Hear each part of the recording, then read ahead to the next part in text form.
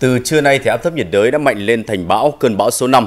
Đến thời điểm này thì bão đang ở vùng biển phía nam đảo Hải Nam Trung Quốc với cường độ cấp 8, giật cấp 10. Dự báo là bão số 5 sẽ di chuyển song song với khu vực đất liền miền Trung trong khoảng 2 ngày tới, sau đó di chuyển chậm lại và có khả năng đổi hướng. Dự báo là bão sẽ gây sóng to, gió mạnh ở khu vực biển Quảng Trị đến Quảng Nam và Vịnh Bắc Bộ. Vùng biển nguy hiểm trong một ngày tới là phía Bắc vĩ tuyến 16 độ Bắc, phía Tây kinh tuyến 110,5 độ Đông. Để ứng phó với bão số 5, Ban chỉ đạo quốc gia về phòng chống thiên tai yêu cầu các địa phương và các bộ ngành tổ chức kiểm đếm, thông báo cho các tàu thuyền tránh khỏi vùng nguy hiểm, chủ động cấm biển và sẵn sàng công tác cứu hộ, cứu nạn. Trong ngày hôm nay, mưa lớn tiếp tục diễn ra tại các tỉnh thành miền Trung. Cùng với đó, các hồ thủy điện thủy lợi đang xả bớt nước để đón lũ, khiến mực nước các sông tại Thừa Thiên Huế dâng cao. Mưa lũ cũng đang gây ngập úng và chia cắt nhiều nơi tại tỉnh Quảng Trị. Từ tối ngày 17 tháng 10 đến sáng nay, trên địa bàn tỉnh Quảng Trị có lượng mưa phổ biến từ 70 đến 120 mm. Đặc biệt là ở hai huyện miền núi Hướng Hóa và Đắk Rông có những điểm mưa lên đến gần 200 mm. Nhiều địa phương đã bị ngập lụt và chia cắt. Đối với cái cầu tràn Ba Long à, nối liền từ xã Ba Long đến à, các cái xã ở huyện Đắk Rông đã bị ngập hơn một mét. À, người dân đã bị chia cắt toàn bộ về bên ngoài. Ghi nhận tại các vùng thấp trũng của Thừa Thiên Huế, nhất là ở các huyện Phong Điền, Quảng Điền, tiếp tục bị ngập nặng. Hàng loạt tuyến đường đã bị ngập lụt từ 0,2 đến 0,5 mét. Tại huyện Quảng Điền, nhiều đoạn tỉnh lộ và đường liên xã đã bị ngập sâu, trong đó có nơi ngập từ 0,7 đến 1 mét. Nhiều khu dân cư ở các vùng thấp trũng tại các địa phương này, nước lũ đã tràn vào nhà dân. Và chú ý các vùng mà thường xuyên bị chia cắt khi có lũ lớn, mưa lớn xảy ra, các cái vùng sâu, vùng xa để dự trữ lương thực đảm bảo ờ, ổn định cuộc sống khi có thiên tai xảy ra. Trước những diễn biến phức tạp của áp thấp nhiệt đới đã mạnh lên thành bão, hiện chính quyền các địa phương của tỉnh Thừa Thiên Huế và Quảng Trị đã có công điện ứng phó với tình hình mưa lũ và bão số 5 trên biển Đông. Tiếp tục tìm kiếm 13 ngư dân mất tích do tàu bị chìm tại khu vực đảo sông Tử Tây. Từ đêm qua và cả ngày hôm nay thì các tàu cảnh sát biển, hải quân và tàu cá của các ngư dân vẫn đang tích cực triển khai công tác tìm kiếm cứu nạn các nạn nhân bị mất tích. Tuy nhiên là đến chiều nay thì vẫn chưa có kết quả. Đến thời điểm này, tàu của các lực lượng chức năng đã tiếp cận tàu chở người bị nạn, hỗ trợ chăm sóc y tế và động viên thăm hỏi ngư dân. Sau khi kết thúc tìm kiếm cứu nạn, các lực lượng chức năng sẽ đưa các ngư dân về cầu cảng vùng cảnh sát biển vùng 2 ở huyện Núi Thành, tỉnh Quảng Nam.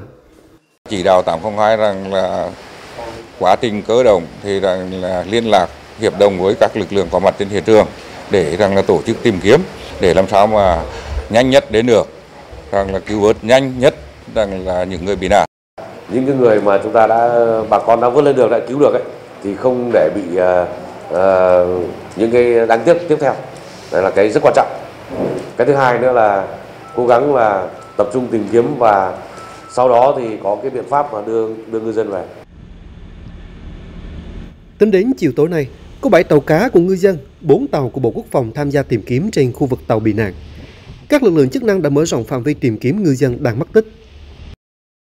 Nhiều khả năng 13 ngư dân mất tích trong khi gió lốc biển bất ngờ đánh chìm tàu thì các cái ngư dân này đang mắc kẹt trong khoang tàu và khi tàu chìm thì các ngư dân chìm theo tàu.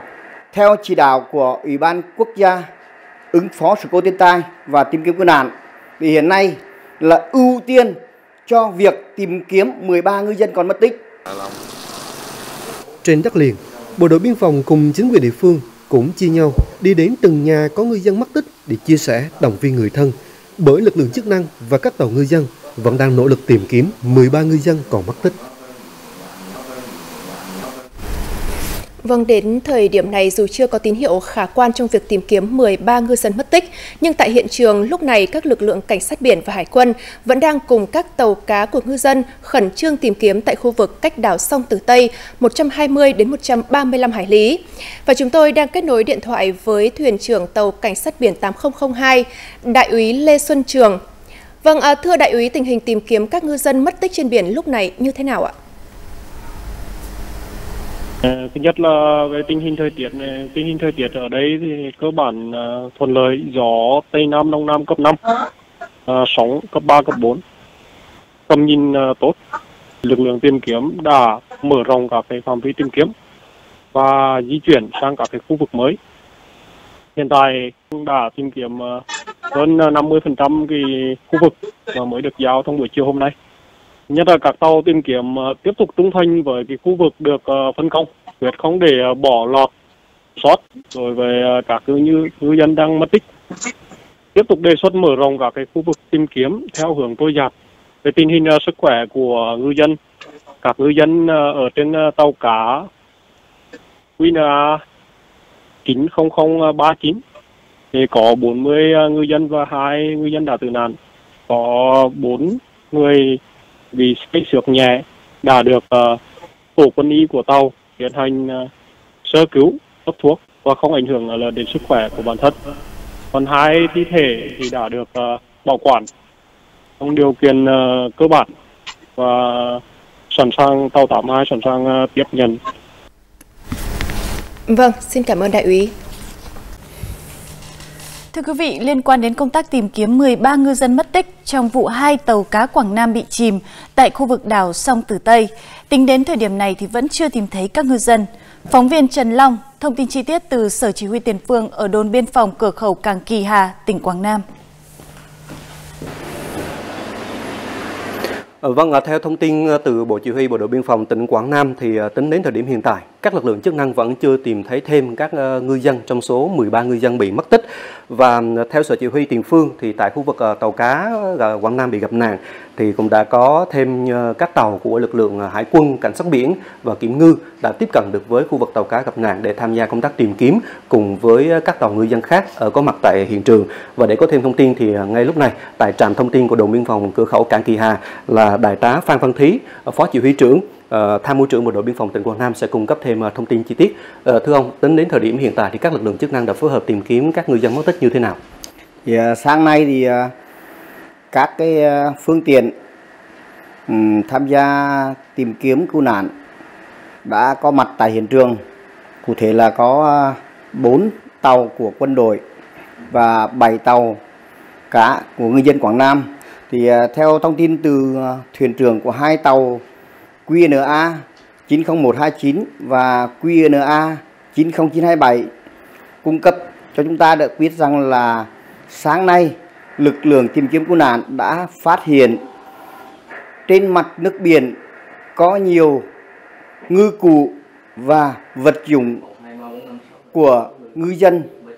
Theo nhận định của hai thuyền trưởng trên, thì có nhiều khả năng 13 ngư dân mất tích trong khi gió lốc biển bất ngờ đánh chìm tàu thì các cái ngư dân này đang mắc kẹt trong khoang tàu và khi tàu chìm thì các ngư dân chìm theo tàu theo chỉ đạo của Ủy ban Quốc gia ứng phó sự cố thiên tai và tìm kiếm cứu nạn, thì hiện nay là ưu tiên cho việc tìm kiếm 13 ngư dân còn mất tích.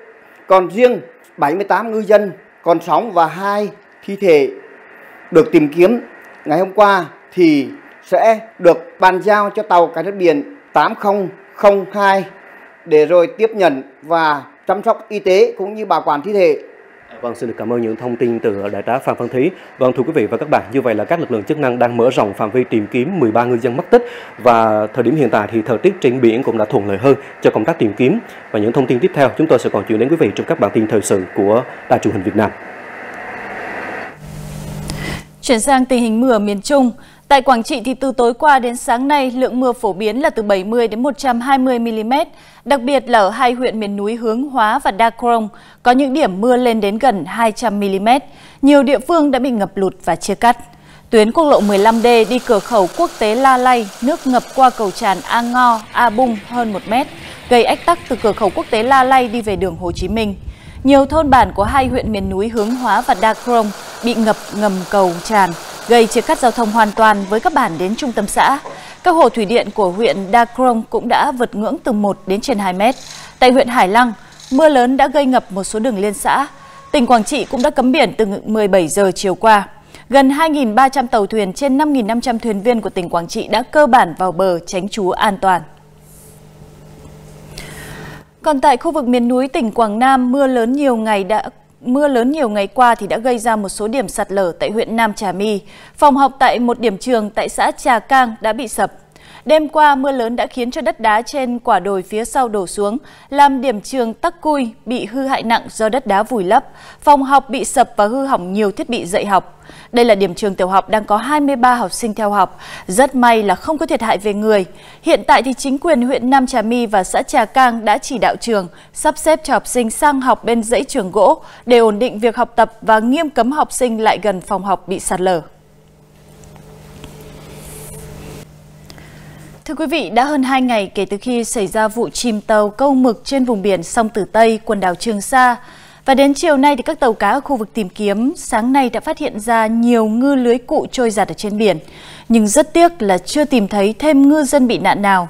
Hàng chục phương tiện đang mở rộng phạm vi tìm kiếm ở trên biển. Sáng nay, tàu cảnh sát biển 8002 đã đón 78 thuyền viên và hai thi thể, hỗ trợ chăm sóc y tế và động viên thăm hỏi ngư dân. Tàu còn có phương tiện đặc dụng đáp ứng yêu cầu bảo quản các thi thể. Sau khi kết thúc tìm kiếm cứu nạn, tàu sẽ vận chuyển về cầu cảng vùng cảnh sát biển vùng 2 ở huyện Núi Thành, tỉnh Quảng Nam. Khi được sự đồng ý của Bộ Tư lệnh Cảnh sát biển thì chúng tôi đã điều ngay 802 và chỉ đạo 802 rằng là quá trình cơ động thì rằng là liên lạc hiệp đồng với các lực lượng có mặt trên hiện trường để rằng là tổ chức tìm kiếm để làm sao mà nhanh nhất đến được rằng là cứu vớt nhanh nhất rằng là những người bị nạn làm sao mà đảm bảo an toàn và thực hiện tốt cái công tác cứu hộ cứu nạn.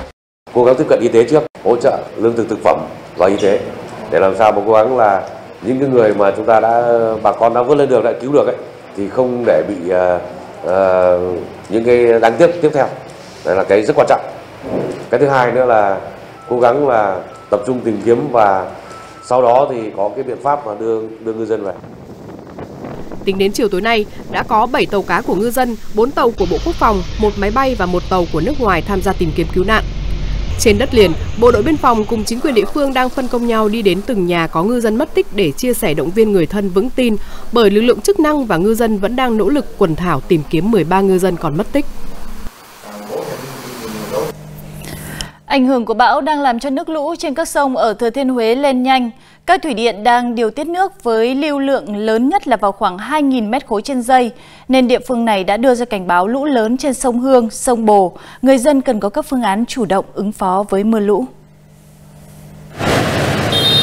Để ứng phó với mưa lớn thì hiện nay các thủy điện lớn trên địa bàn tỉnh Thừa Thiên Huế đã đồng loạt xả lũ về Hà Du để đón lũ. Các cơ quan chức năng cũng đã đưa ra cảnh báo lũ lớn trên các sông Hương, sông Bồ. Hiện nay thì mực nước trên sông Bồ được dự báo sẽ còn tiếp tục tăng và vượt mức báo động 3. Ban chỉ huy phòng chống thiên tai và tìm kiếm cứu nạn tỉnh Thừa Thiên Huế yêu cầu các địa phương triển khai phương án phòng chống thiên tai và tìm kiếm cứu nạn theo phương châm 4 tại chỗ. Trong đó, chủ các hồ chứa, hồ thủy điện cần sẵn sàng các giải pháp ứng phó khi có sự cố bất ngờ xảy ra. À, tùy vào cái tình hình mà diễn biến của thời tiết thì công ty đã chủ động về các cái biện pháp, các cái phương án ứng phó về nhân lực, về à, vật tư dự phòng về à, các cái phương án mà ứng phó khẩn cấp trong các tình huống khẩn cấp chúng tôi đã chuẩn bị đầy đủ. Các vùng thấp trũng của Thừa Thiên Huế, nhất là ở các huyện Phong Điền, Quảng Điền bị ngập nặng.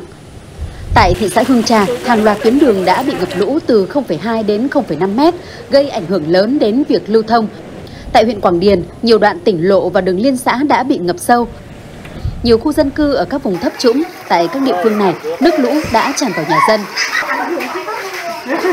Đề nghị các địa phương là tiến hành ra soát kiểm kê các phương án ờ, dự trữ vật tư các thiết bị các nhu yếu phẩm. Đặc biệt là chú ý các vùng mà thường xuyên bị chia cắt khi có lũ lớn mưa lớn xảy ra các cái vùng sâu vùng xa để dự trữ lương thực đảm bảo ờ, ổn định cuộc sống khi có thiên tai xảy ra để đảm bảo an toàn cho học sinh, từ trưa ngày 18 tháng 10, Sở Giáo dục Đào tạo tỉnh Thừa Thiên Huế đã cho học sinh các cấp học trên toàn tỉnh nghỉ học. Vùng biển miền Trung và Bắc Biển Đông đã có mưa rông mạnh do bão. Các tỉnh Quảng Bình, Quảng Trị và Quảng Nam đã cấm biển, không cho tàu thuyền ra khơi. Tỉnh Quảng Trị, Quảng Nam cấm biển từ chiều qua, Quảng Bình thì cấm từ 0 giờ sáng nay. Bộ đội biên phòng các tỉnh ven biển từ Thanh Hóa đến Khánh Hòa đã thông báo hướng dẫn cho hơn 53.000 tàu thuyền với trên 220.000 người biết diễn biến, hướng di chuyển của bão để chủ động phòng tránh. Hiện phía bắc của Biển Đông, vùng biển từ Quảng Bình đến Quảng Ngãi có gió mạnh tới cấp 8 và biển động mạnh.